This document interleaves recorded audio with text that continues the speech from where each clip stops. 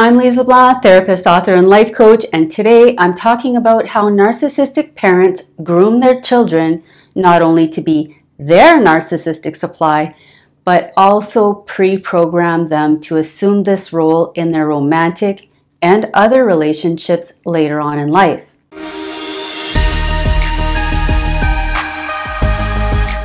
First off, let me say that narcissistic parents typically present themselves very favorably to everyone else, and they are commonly perceived as caring and nurturing parents. But behind the scenes, the reality is drastically different.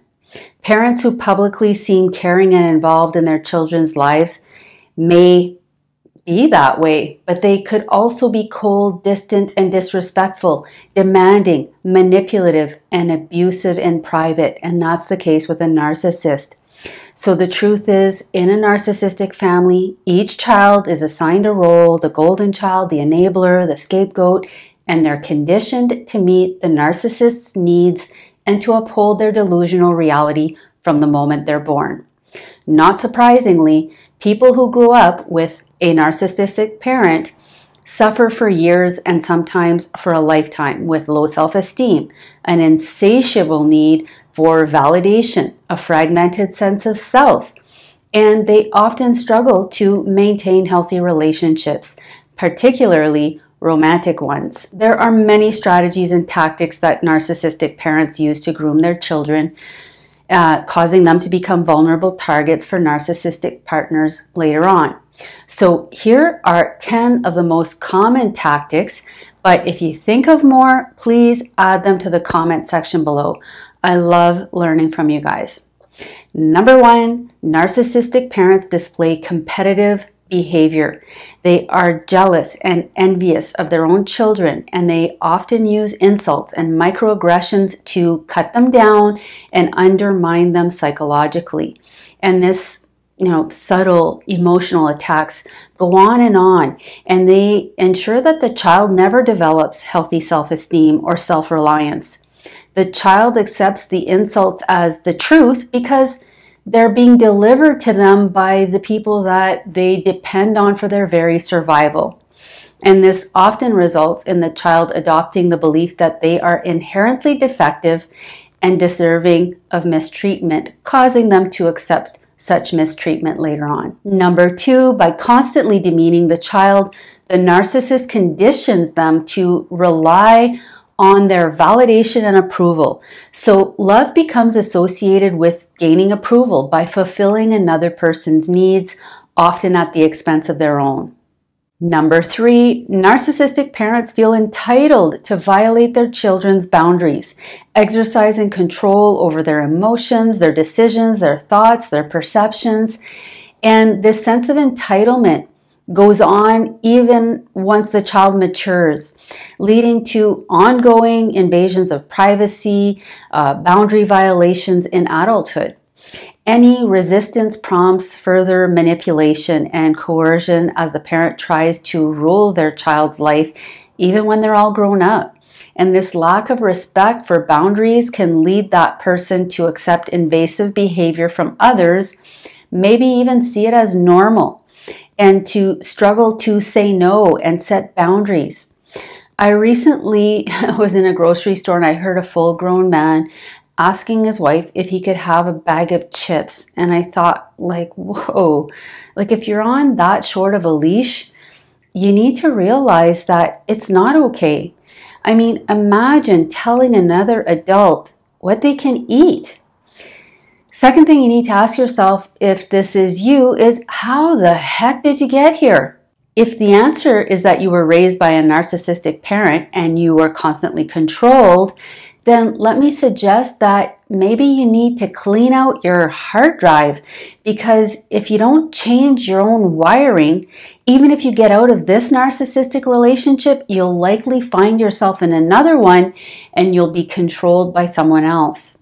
Number four, a child who's being manipulated, controlled, and coerced learns that standing up for themselves only makes things worse. And so they comply usually quickly, in order to avoid chaos, conflict, and further abuse. Such childhood experiences teach you to submit in order to maintain peace and to avoid being rejected. This at the expense of your own self expression. Number five, narcissistic parents flaunt their children's accomplishments to boost their own ego, yet they rarely provide the child with true emotional support or even acknowledgement for their achievements in private. The parent is exploiting their children's successes to gain attention and to get credit.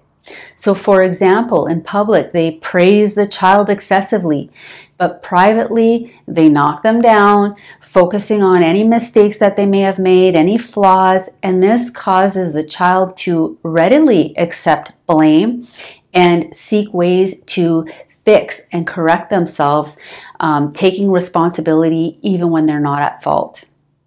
Number six, narcissistic parents use guilt, fear, and other negative emotions to control and manipulate their children. The narcissistic parent knows each child's emotional triggers. They know exactly how to push their buttons and upset them because they installed most of these emotional buttons themselves, which they press whenever they want or need something. And this programs the child to be easily manipulated and to allow others to use their emotions and vulnerabilities against them. Number seven, Narcissistic parents play favorites, often pitting one child against the other, as well as pitting them against the other parent. So this keeps family members in competition and in conflict. The narcissistic parent triangulates, plants rotten seeds of doubt into each child's vulnerable mind, and undermines, discredits, and damages the child's opinions and relationships with other family members. All this to maintain control and isolate the child from those who could provide emotional support, guidance, and love. Comparing you to others and playing favorites stems from jealousy, envy, and insecurity, and it's intended to motivate conflict and competition, conditioning the child to believe that these types of behavior is normal. Number eight, narcissistic parents regularly invalidate their children's feelings. Um, they trivialize their child's emotions and distress, telling them that they're too sensitive, overreacting. And this constant invalidation teaches the child that their emotions are not valid, they're not important, leading them to doubt their own feelings, second guess themselves, and in future relationships to tolerate partners who similarly dismiss or downplay their emotions and feelings. Number nine, narcissistic parents often provide love and approval only when the child meets their expectations or is serving their needs. This conditions the child to believe that love is earned through compliance and catering to others' desires. In adulthood, they might seek out parents who need and demand constant validation and compliance.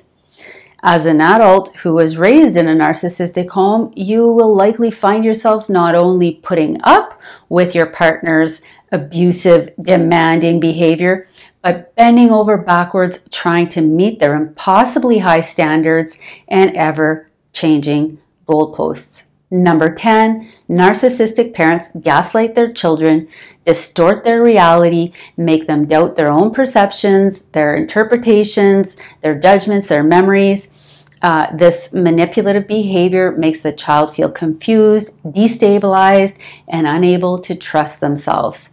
In future relationships, they may tolerate, you know, or even replicate gaslighting behavior. The insidious ways in which narcissistic parents condition their children for future narcissistic relationships is very concerning.